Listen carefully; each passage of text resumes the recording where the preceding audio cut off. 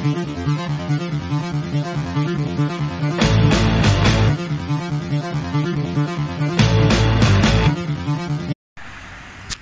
mga kasining, kamusta po kayong lahat?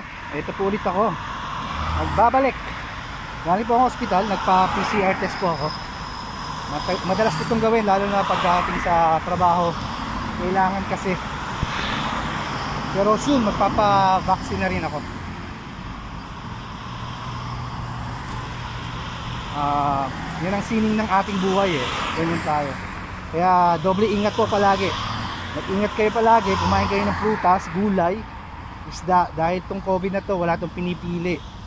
Kahit na nag-exercise ka, kahit hindi ka nag-exercise, kahit kumakain ka masustansya pagkain, ang kailangan lang natin is uh, palakasin yung immune system natin para malabanan natin tong COVID na to. Hindi natin to nakikita, mahirap na. So mas maganda na yung nag-iingat tayo palagi. Doble ingat lang palagi para uh, maging healthy pa rin tayo at hindi tayo tamaan ng sakit na COVID. Malayo-layo itong lalakarin ko. So ayun. Uh, maghahanap din ako ng makakapanayam. Pag wala eh sorry. Pa-practice pa lang ako eh. Pero ayun. Kita-kita ulit tayo mamaya. See you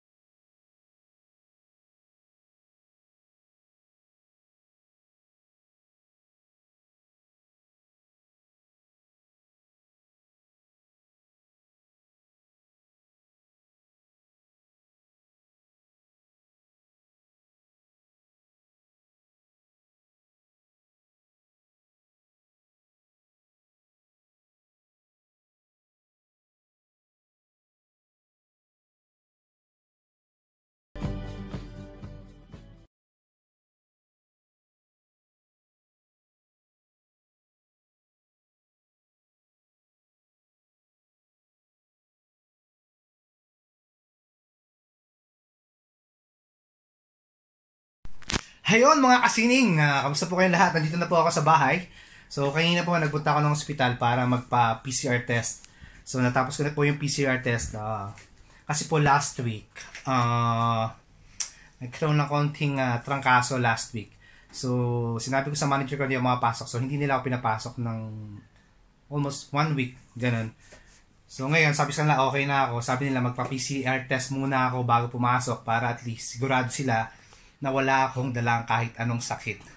Natatakot sila. Hindi, ganun talaga. Siyempre, para naman maging safe lahat ng mga kasama mo sa trabaho. Ayun lang. Uh, sa akin lang is uh, dapat palakasin natin yung sarili natin, sa loob natin, at yung resistensya natin para may panlaban tayo sa COVID na sinasabi niyan, sakit na yan.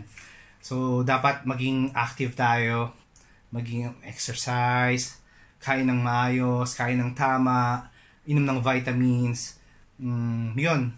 At that, syempre, kailangan natin palagi magdasal sa Panginoon para bigyan niya tayo ng sapat na lakas upang makalaban sa mga ganitong uh, klaseng uh, sakit. At saka yung mga uh, mapapayo pala sa mga uh, kabataan or kahit hindi kabataan, yung mga magulang nagtatrabaho sa ibang bansa.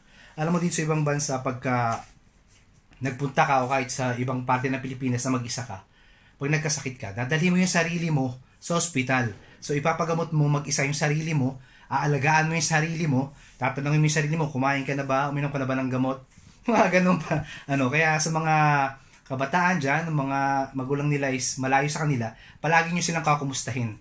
Unahan nyo sila ng pangangamusta dahil yun lang nagpapalakas sa loob nila. Yun po. Yun po yung number one na magpapalakas sa loob ng inyong mga magulang, mga kapatid, asawa, anak. Yung pangungumusta lang simple pangumusta, okay na sa kanila yon na lumalakas yung loob nila sa ganun. Ayun lang. Uh, sana sa susunod kong uh, mga video vlog, meron na akong makapanayam. So, dun sa mga gustong mapak, uh, gustong uh, magpa-interview sa akin, message lang, comment lang kayo. So, kahit anong uh, topic, basta may sining. Alam mo naman natin lahat ng bagay may sining eh. Tulad to buhay natin tayo yung gumagawa ng sining sa buhay natin. Tayo yung nagkukulay. Tayo yung nagbibigay uh, liwanag sa buhay natin. So, parang sining din yan, buhay natin. So, ayun lang. Uh, babalita ko kayo kung anong result ng uh, test ko. Uh, sana okay yung result ng test ko para makapasok na ako sa trabaho sa Sunday. So, ingat kayo palagi. Palagi tayong magdadasal sa Panginoon. And lakasan natin ang loob natin. Huwag tayong magpapatalo sa mga pagsubok. Laban lang. Yun lang yung word. Laban lang. Huwag kayong mawawala ng pag-asa sa araw-araw na buhay. Maraming maraming salamat sa inyo lahat. At sana uh, mag-subscribe pa yung mga taong hindi nagsas- nagsasubscribe. Sa mga taong nakapag-subscribe na, maraming salamat po sa inyong lahat. Sana i-share nyo pa to at uh, madagdagan pa yung subscriber ko. Um, yun lang. Uh, maraming maraming salamat sa inyo. Ingat palagi. Yun lang po masasabi ko. Ingat palagi at laksan lagi ang loob. Laban lang. Thank you. Bye-bye mga kasining.